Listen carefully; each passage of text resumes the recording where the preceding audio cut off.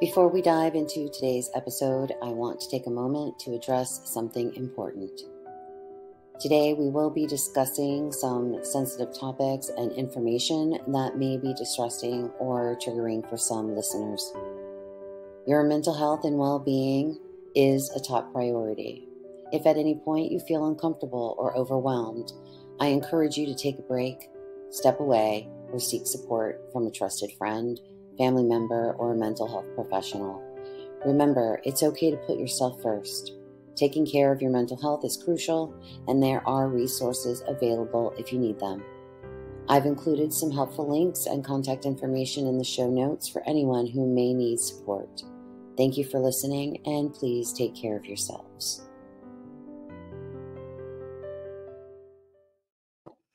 Welcome back to the NonnaBoss Audits and Investigations and to another episode of the Scientology Chronicles. So let's jump right in, shall we?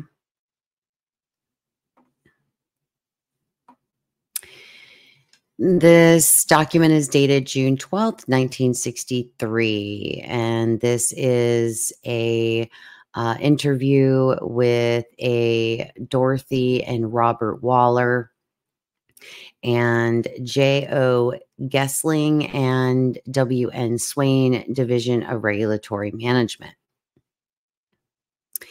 Mrs. Waller had spoken to Mr. Van Smart over the telephone a couple of times concerning Scientology and the e meter, and an appointment was made for her to come in and discuss the matter at this time. At as best it could be determined, the ostensible reason for the visit was the fact that Mr. Robert Waller, her husband, had received Scientology treatment for a sore back and headache condition for several years and had had very little, if any, results. And in fact, for the past five years, had been unemployed, unable to obtain work, and had spent some time in a state hospital for a mental condition. At some time during his experience of unemployment, he was also an alcoholic. Mrs. Waller explained that due to his status and for other vague reasons, their two children, age five and a half and three years old, had been removed from their custody and placed in a foster home that the psychological services and other volunteer organizations purporting to help people in trouble in the Elmira Corning, New York area were not doing an adequate job both with respect to the condition of the Wallers and with respect to some 200 other people who worked at the same glass works with Mrs. Waller and Mr. Waller was quite vehement that something should be done about the false and misleading nature of these agencies in purporting to hold out help to the unfortunate and failing to provide help. She was quite vehement to the effect that the Food, Drug, and Cosmetic Act prohibited misleading and that these agencies were misleading the public in purporting to help individuals. Mr. Waller seemed to understand that the law's application was limited to only certain articles and circumstances. Mrs. Waller recited as her history that around 1950, she had read the book Dianetics, The Science of Mental Health. Following this were several training visits and co auditing experiences, among the instructors being Dr. Richard Steves. Mrs. Waller indicated that she had received some benefits from the practices, as, for example, when on a co auditing tour of Grand Central Station in New York, she exteriorized and her Thetan found itself near the ceiling of the Grand Concourse, from which vantage point she could look down and see the entire activities of Grand Central Station and hear the sounds, the smells, etc. Another such experience involved bringing a flowering tree into bloom when it apparently had no intention of doing so otherwise. In this first, among other discussions, she later described how she learned why she always had to have dirty clothes. It developed that she never finished with all of the laundry tasks of the household, but that she had, through Scientology procedures, discovered that in one of her past lives, she had been a professional laundress and found it necessary to always have dirty clothes ahead of her to be washed. This experience improved the whole laundry situation. Touching more intimately on the trouble between herself and her husband, she explained that in another past life, she had been engaged in the sale of sexual favors as a mean of support and livelihood for her family for an entire lifetime, with resulted effects on her interpersonal relationships between herself and her husband, which apparently involved some rejection of his advances.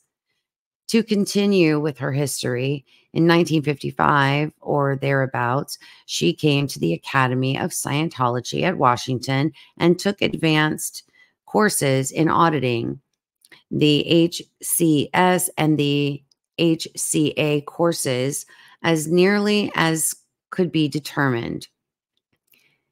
These encompassed at least 300 hours of co audit experience, while at the Academy of Scientology, she met and fell in love with Mr. Waller, whom she subsequently married and had managed to make an excellent improvement in her personality by the application of Scientology techniques to this to this confirmation class of the more overactive youngsters and had managed to make an excellent improvement in their personality by the application of Scientology techniques to this confirmation class.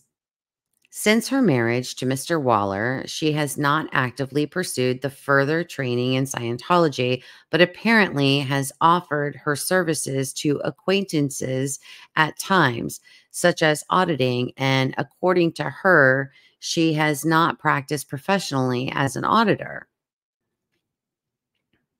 On inquiry, it was revealed that at the time she took her training there was very little use of the e-meter, and she demonstrated by holding Mr. Swain's hand the manner in which auditors, by feeling the hand and observing facial expressions of the individual, could determine their response to the auditing questions. Mr. Waller's story was told in somewhat less detail to the effect that about the time of his graduation from high school, around 1950, he joined up with a group of practitioners of Dianetics in Peoria, Illinois, where he was raised. After some preliminary training, he also came to the Academy of Scientology at Washington, D.C. His declared reason for coming was to rid himself of a disturbing and disabling set of pains in his back and shoulder and neck and severe headache attacks. He took the HCA and the HAA and the ACC in the period of 1955 and 1956. The earlier aspects of his attendance were straightforward processing in an effort to rid him of his troubles, and only later did he receive training in becoming an auditor, prim primarily for the reason that the other processing had achieved nothing, and it was felt that he and it was felt that the advanced procedures might achieve some results. Both Mr. and Mrs. Waller indicated that he had received no benefits from the organization's practices. Mr. Waller characterized the whole matter, on which he had expended several thousand dollars, as being nothing more than a good parlor game In 1955, Mr. Waller moved to Elmira, New York, with the understanding that he was to obtain some appointment in the uh, in in 1955, Mr. Waller moved to Elmira, New York, with the understanding that he was to obtain some appointment in the post office there, but he was never but he never obtained this appointment and has not engaged in gainful employment of any other sort during this period of time. At best, as he could gather, there was a certain amount of alcoholism or indulgence in alcohol involved in his condition and a mental instability which resulted in his attendance at the state hospital. Also, personal difficulties with Mrs. Waller, which resulted in consultations with the social services in the vicinity and the eventual placement of their children in a foster home. Mr. Waller inquired if there were any possibility of the government ordering restitution of the of money expended with the Scientology outfit for no good purpose. The legal situation with respect to restitution under the Food and Drug Actions was explained to him. He seemed to understand that civil action on on this part, independent of the government, would require his production or uh, of rather extensive evidence if he hoped to benefit from such civil action. Mr. Waller seemed to get more vehement and somewhat incoherent as the as the conference wore on and with considerable discouragement by Mr. Waller and with less response to her conversation by Mr. Swain, the conference was eventually terminated. Mr. Waller suggested that possibly their troubles with the social services uh, of the Elmira vicinity might better be presented to their congressman and prevailed on Mrs. Waller to take to take with them the two reels of tape and other recorded material which she had prepared for presentation to someone who could do something about the social services with some background investigation, the presentation of these two individuals as witnesses in the eventual trial of the action would be very interesting as examples of the sort of personality that is produced by the personal efficiency course and other courses of the Scientology organization. Mrs. Waller is a compulsive talker and impresses one as being on the verge of living in a sort of fantasy, while Mr. Waller seems like a more stable and restrained sort of person who apparently has had considerable difficulties by reason of his involvement in the organization. On the other hand, it does not seem likely that the government would want to be bound by statements made by Mrs. Waller. W.N. Swain.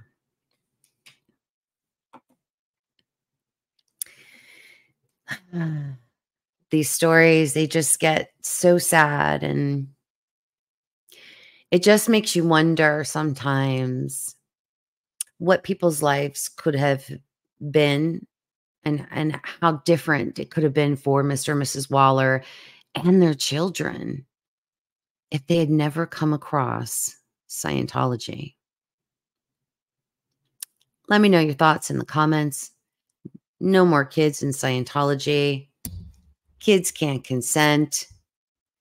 And remember to spread love and kindness wherever you go. And I'll catch you on the next one.